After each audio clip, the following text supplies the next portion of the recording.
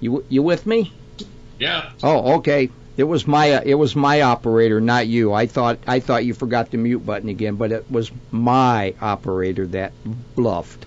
Anyway, uh, I want you to go to your computer, and everybody that's listening right now, if you can, pull up on your computer www.drudgereport.com and pull up Drudge Report 2013.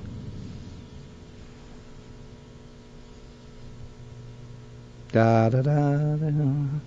Ba da da da da da da. I'll sing to you while you do that. No, let's not. I just got my mic cut. All right, everybody, you got that up, Big D? Yeah. What's the first thing that greets you on that page?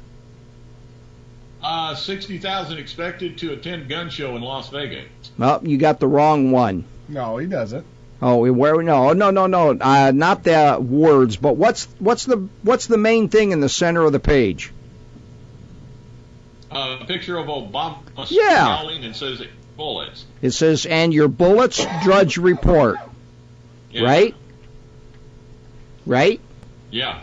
Describe to me what you see in that picture. I see a man that's really PO'd. He can't get his way. No, no, I don't. What do you see? I, huh? A terrorist. He's a terrorist. He's the devil. He is a prophet of Satan himself. That man, this man with the look, you look into his eyes and you will see that they are coal black. Not because he's a black man, but because he is cold, dark, and he is the devil's advocate. Hey, he's He- got pointy ears. he I'm not joking. Look.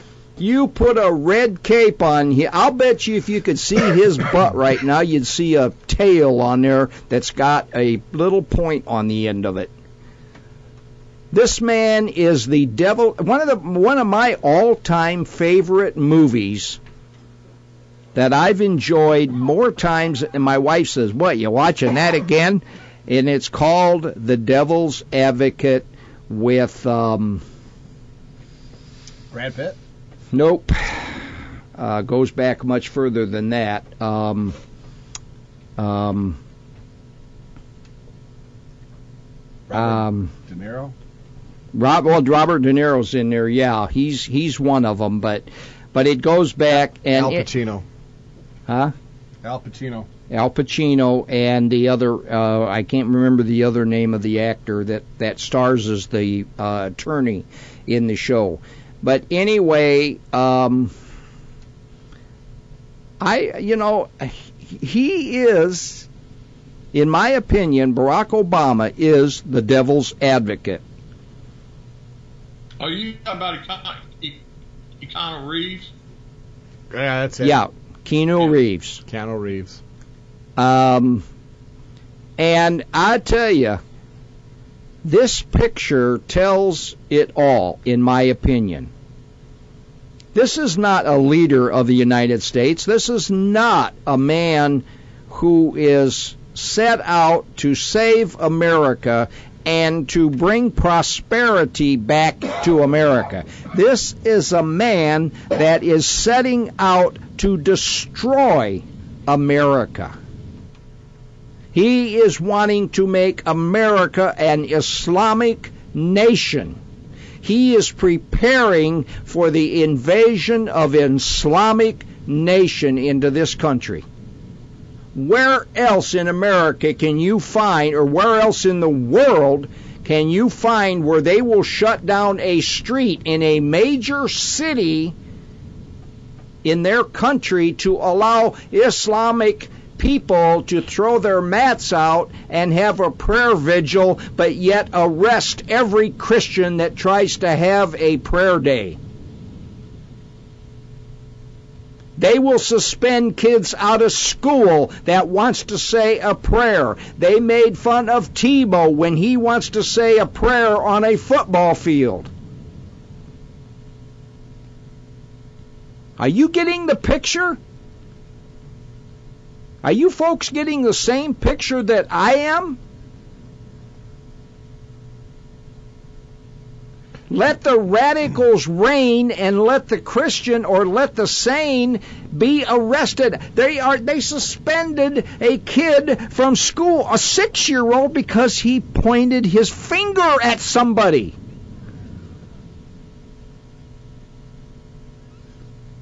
And then there's also on this Drudge report, there's a picture of a Nerf rifle that shut down a school. And then two six-year-olds suspended for using imaginary weapons. Yeah, Mickey's got it right. She goes, uh, "Watch out for an elimination for term limits for American presidents." Oh, he's already signed an order for that.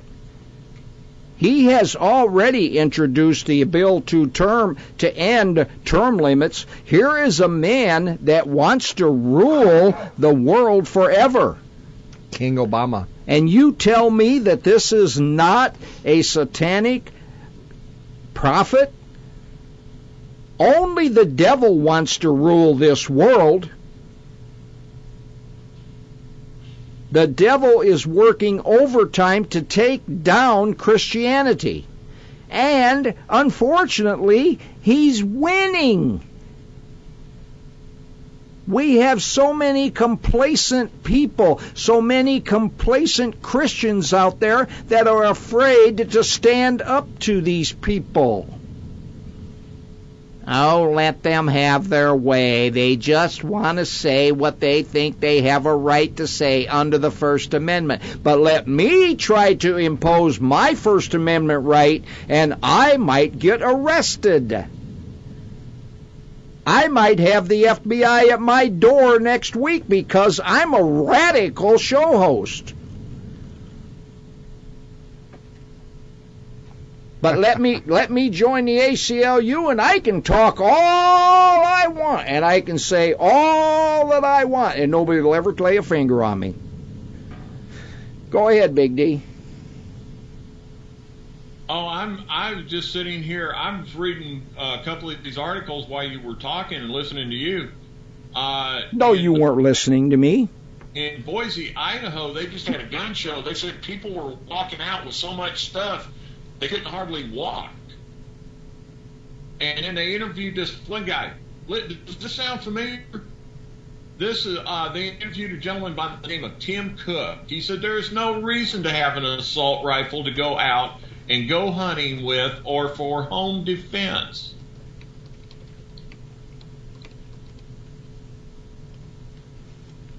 Who who is Tim Cook? Who is Tim Cook to decide what I need to own? who are who are the people who have decided, Bill, that I need to own a Prius, not a not a fifteen hundred Dodge Ram? Well, I, I, I think we're coming to the point where Congress is going to attempt to tell us what kind of clothing we can wear well, that's that's the whole point. I mean, we've got people out there telling us what we can and can't wear now. We've got people out there trying to dictate what we can and can't eat. I, and drink. I want to know why they came. Yeah, obesity, for example. They're trying to control obesity. Rahm Emanuel in Chicago says it's illegal to drink a 32 ounce Coke. But, but, we don't have anybody out there trying to make cars safer. We don't have anybody out there trying to get rid of alcohol. Why is that? Well, because they they, they here's why it's not being done. It will be an inconvenience for certain lawmakers. Well, here's you just heard me read the article where Obama is they they want to raise the taxes now and start charging us per mile rather than per gallon of gas that we drive uh, because their funds are running low. So rather than cut back on spending, we're just going to start charging more now because our our budgets are running low. So now we're going to suck you dry so your budgets run low. And we were saying this four years ago, Bill. I know that, and they've got they. But see, they need to build up this highway trust fund because they need to borrow that money to fund some poor lazy bastard that wants to sit on his butt and do nothing. I'm telling you, it just goes on and on and on. I mean, this it's it's it's every single thing out there. Uh, Coca-Cola has just came out with a new ad against obesity and it's being played on major news networks.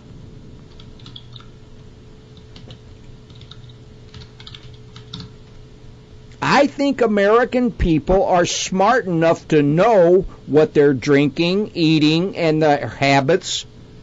We don't need, we don't need, I mean, if you want to set an example to the American people, get rid of shows like Honey Boo Boo for crying out loud. That is a sickening, that is a demoralizing, that is an anti American weekly show that shows American people that dysfunctionality and and being a pig and being a a slut mouth is okay. Boo boo bashing, here we go. oh, folks, if you could just see the array of faces I'm getting right now. well, yeah, I mean, if you, you want to go one further, Bill, Honey Boo Boo and a lot of these reality shows, well, it's fine to be a freaking moron. It's socially acceptable. How can we talk about getting rid of obesity and yet we laugh at the adventures of Honey Boo Boo? Right.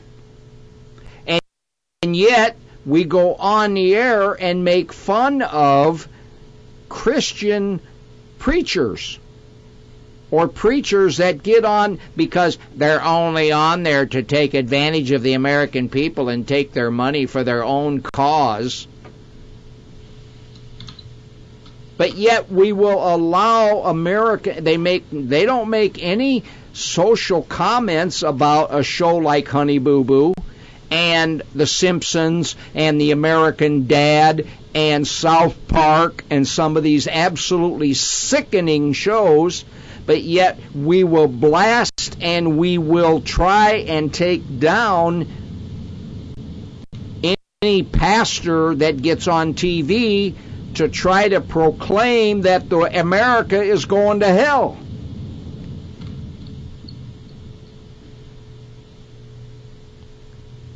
And they're the only ones that are telling the truth for crying out loud. Switch the channel and you'll see that they're telling the truth.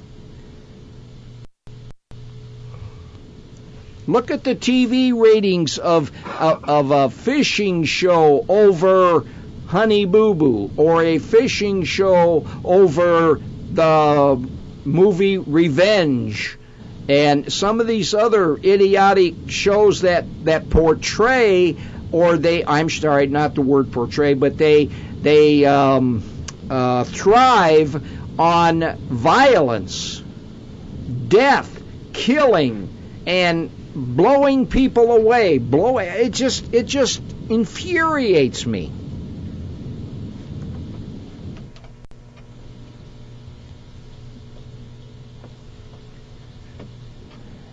D, we got 10 minutes left in the show. It's all yours, babe.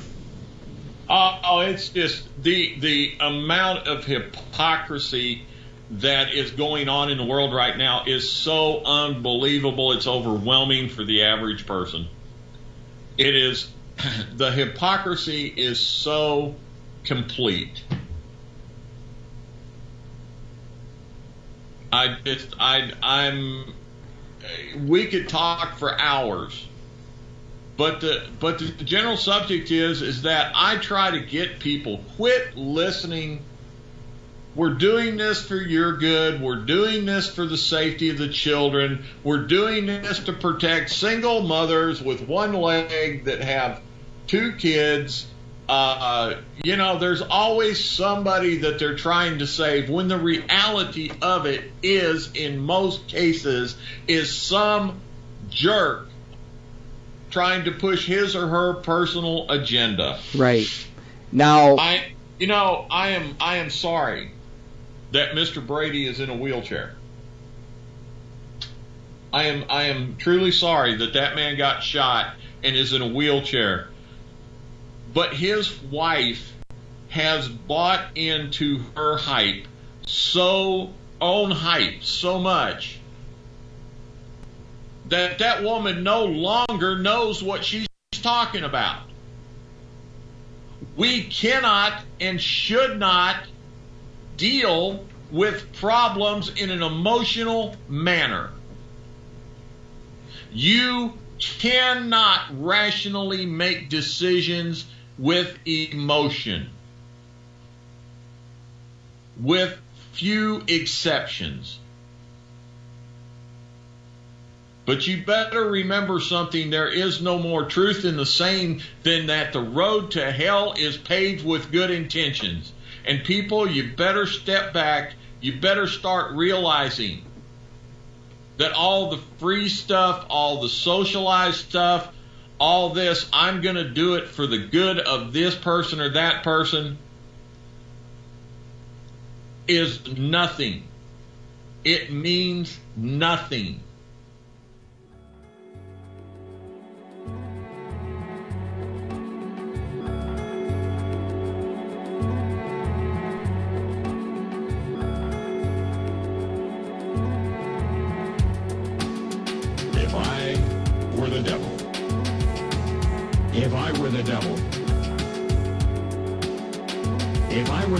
Of darkness, I'd want to envelop the whole world in darkness, and I'd have a third of its real estate and four-fifths of its population, but I wouldn't be happy until I had seized the ripest apple on the tree. Thee. So I set about, however necessary, to take over the United States.